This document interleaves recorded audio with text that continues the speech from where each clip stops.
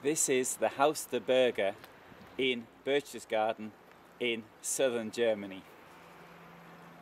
The home of the second highest mountain in this country.